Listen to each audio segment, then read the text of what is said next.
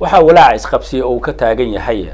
Shirkadda isgaarsiinka hormuud dhowaan dhul ay ka dhisatay deegaanka dhabbad ee gobolkaasi galgaduud iyadoo buuqaasina uu salka ku hayo dhulkaasi ay shirkadaasi dhisatay lahaanshaheeda cidda asalka u ah.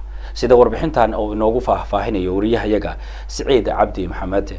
Iyadoo maalinba maalinta ka dambeysa ay shirkadaha isgaarsiintu ku sii fidayaan deegaanada soomaalida oo inta badan ay ka bixiyaan adeegyo isgaarsiin oo ay bulshada siiyaan ayaa haddana shirkada hormuud waxa ay ka mid tahay shirkadaha fiditaankooda sida xawliga uga socdo gudaha soomaaliya gaar ahaana koonfurta iyo bartamaha soomaaliya oo ay ka furteen xarumo kala gedisan oo ay ka baxshaan aleeyo kala duwan iyagoona taasi ay jirto ayaa haddana muran iyo isqabqabsi dhuleed ka dhashay xarun ay shirkadu ka furatay degmada dhabbad ee waqooyiga gobolka galgaduud kaasoo ku salaysan lahaanshaha dhulka ay shirkadu ka dhisatay degmadaasi maxamed salaad jaamac salooq oo ka mid ah dadka aadka looga yaqaano deegaanada waqooyiga gobolkani galgaduud sheeganayana mas'uuliyadda dhulkaasi ayaa sheegay in dhulka uu lahaa ay dhisatay shirkada hormuud muran iyo isqabqabsi ka dhashay dhismaha dhulkaasna ayuu sheegay inay galeen odayaasha waxgaradka deegaanka waxna ka qaban waayeen sidoo kalena sheegay mas'uuliyiinta shirkadda ee deegaanada waqooyiga gobolka galguud oo arrintaasi ku wargeliyey kana garbixi waayeen. Waxaan cabashadeedu tahay oo aan sheeganayaa anoo maxamed salaad jaamaca oo motoorisaha dhabadeeda dhul aan labad ku leeyahay ayaa hormuud shirkadda ah iyo iga gashay sharci iyo xisti midna waa deetay waxaan dagaal ahayn oo aan ka qaabilayno oo aan kaga hadlayno lama arka yidhaahdeen intaas waxaa weheliya waxaan u tegey caawad waaq dadka madaxda ka sarreeya ayaguna waxay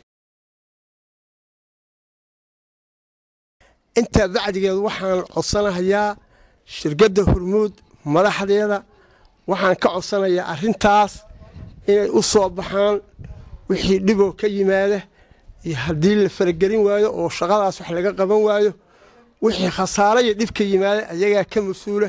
Meeshaas oo intaa oo sano aan lowrahayey inaan la ysku dhicin inaan la dagaalamin wakhti mas'uuliyiin ka tirsan maamulka degmadaasi dhabbadda iyo xubno kale ayaa sheegay in cabashadooda dhaqameedkaani ay u kurgaleen islamarkaasna tahay wax jiro. Mas'uuliyiinta sarsare ee shirkada hormuudna ka codsanaya arrintaani ay soo farageliyaan si loo dhammeeyo arrintaani islamarkaasna ay halkaasi uga dhicin qalalaaso. Anigoo ah gudoomiye ku-xigeenka degmada dhabadeed axmed nuur. Arrintaa odaga uu ka cabtay duqa ah degmada dhabadeed degan oo ninkaas oday weyna matooreysta ah waa wax jiro. Arrinkan waxaa weeye muddo badan bay soo jiitamaysa. Xag sharci hadday tahay iyo xag qabiil hadday tahay iyo xag nooc walbaba adigu waa loo galay.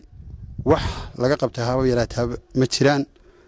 Annagu ka maamul ahaan dee awood badanna maanaan lahayn wax kaga qabanno laakiin awooddayadu waxay inaan dadka isku soo dhodhooweyno adigu waa lagu guulaysan waya calaa kulli xaal.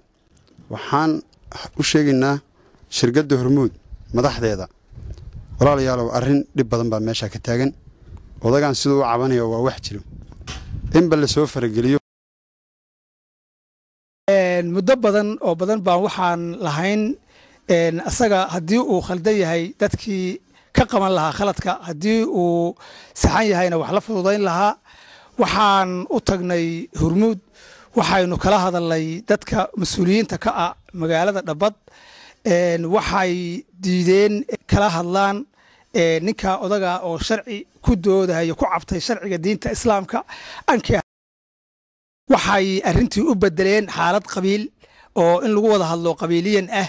Shirkadda hormuudka beniga oo ka madax bannaan asagoo qabiil ka madax bannaan waxaa doodii lagu saleeyey in lagu hadlo qabiil in lagu hadlo oo la yidhaahdo qabiile ahaan baan u wada hadlaynaa oo rag laga keeno odayaal la soo aruuriyo meel walba laga keeno. Dhammaanna inay wada istaageen inaysan sharci iyo xisti midna kala tegaynin ay wax allaala wixii tabartoodu tahay iyo nin walba xaniyihiisa uu fuulo. Waxaan annagoo sidaasa oo ninkaas aynu qabanayno ehelniyada u ah waxaynu u nimid hurmuud caabud waaq oo ay hoos tagto midda dhabadeed waxaan nidhi ilma adeerayaalo waxa aad gudbisaan labadaa dhibkaas nooga imaanaya naga gudbiya. Siciid cabdi maxamed wararka tv-ga caalamiga ee kalson caabud